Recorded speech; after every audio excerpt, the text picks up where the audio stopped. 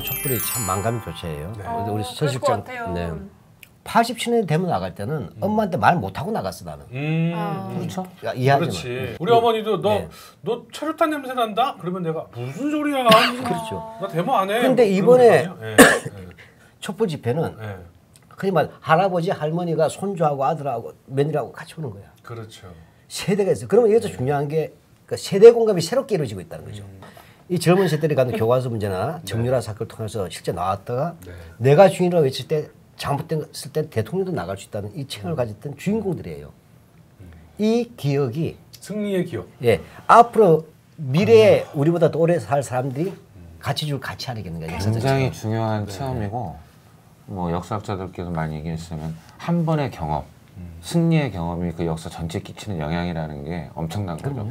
사실은 우리가 이 90년대생 이후에 젊은이들한테 죄의식처럼 가졌던 게 야, 니네는 할 짓 다 하고도 가서 취직도 했고 음. 이, 이, 일마분들은 그랬어요. 네. 취직도 하고 먹고 사는데 별로 이렇게 지장을 안 가질 정도 물론 힘든 점도 많았지만 근데 장애들은 뼈 빠지게 해도 이, 이 기울어진 운동에서 벗어날 수 못하는데 무슨 운동 열심히 안 한다는 얘기 아니야 어. 근데 비로소 이번에 이들이 무엇이 승리인가를 경험하게 된 거죠 엄청난 역사적 자산을 짊어지게 된 거죠 저희가 중요한 얘기죠. 그 대선 끝나자마자 몇몇 젊은 연구자들하고 대선 평가 학술 토론을 했는데 국민 세명당 한명 꼴은 촛불 집회 나갔다는 음. 걸 논쟁이 통해 나온 거예요. 음, 대단한 거죠. 네. 예.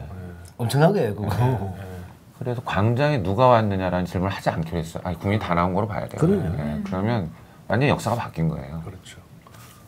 그 세대 간의 단절은 우리 내부에도 다 있었거든요. 음. 그렇죠. 우리 내부. 이, 이 기울어진 운동장에서 헬조선을 외치던 사는 젊은이들에게 87 6월 항쟁이 무슨 의미가 있었겠어요? 어, 쟤네들 그때 잘 나갔나 보다. 음. 그 단절 역시 이번에 촛불에서 저희도 어. 같이 격려된 거예요. 이완의 혁명이라고 격할 게 아니라 음. 끊임없이 성장해온 혁명이라고 다시 봐야 혁명의. 경험들이 쌓여서 이제 성장해요. 그리고 성- 승리를 거둔. 결코 좌절하지 않았다는 거죠. 그럼요.